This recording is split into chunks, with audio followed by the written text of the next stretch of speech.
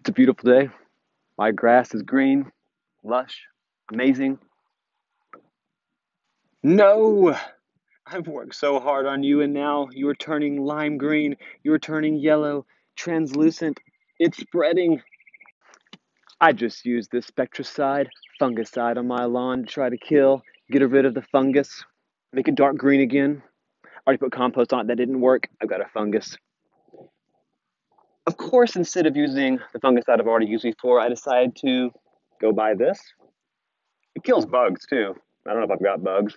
Make sure you subscribe to my channel. In about a week or so, I will have the full video coming out on exactly how I did this, if it worked, or if my grass is dead, brown, dying.